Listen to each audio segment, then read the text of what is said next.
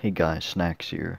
Today we're going to talking about the new DLC Final Battle dropping for Attack on Titan 2, which will be coming July 5th, 2019, of course. It's going to be $40 plus tax. And um, without further ado, we're going to get into the video. I'm going to explain everything that's coming to the game with the DLC. And if you guys do enjoy the video, um, comment down below. Let me know what you're excited for about this DLC. I'm very interested in knowing what you guys think about it.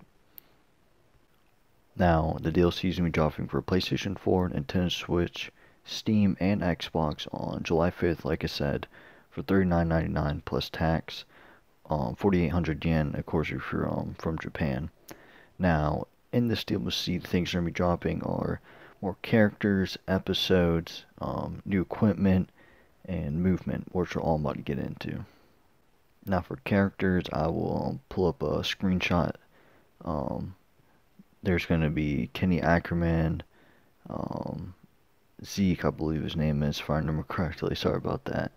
Um, a person from Kenny Ackerman's crew, I forgot her name, but like I'll pull up a picture. And um, those will be the five new characters coming. And then, of course, you already have our previous characters that have been the game since start. The next thing that we'll be getting is a new system of movement. Now, on the website, I'm going to read for word. This says fight against a giant in three-dimensional maneuvers. There's going to be site destruction, item replenishment, collaboration of friends, kind of like how there is already now. So the pretty much reworking how the combat system is what we're used to.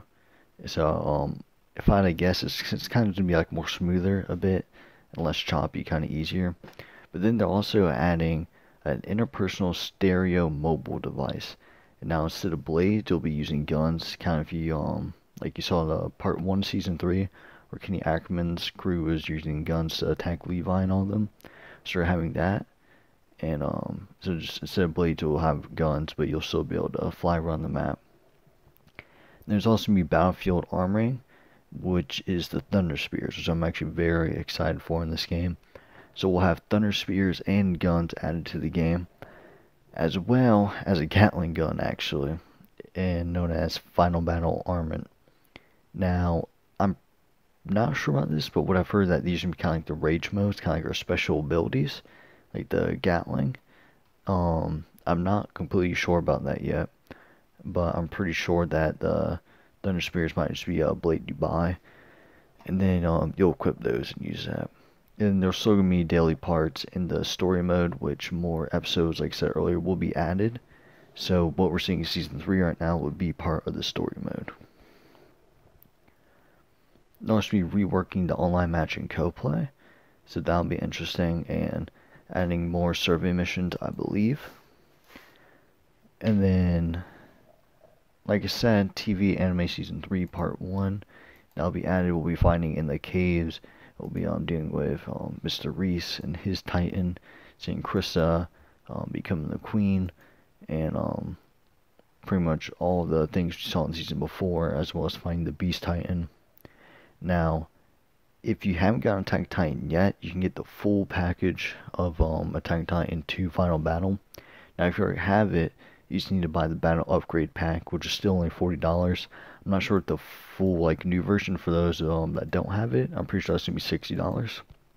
And if you already have the game, it's just gonna be forty dollars. So nothing um too crazy, and it's gonna be a huge DLC. So um, when I get more information, I'll definitely let you guys know. So far, we just got five more characters.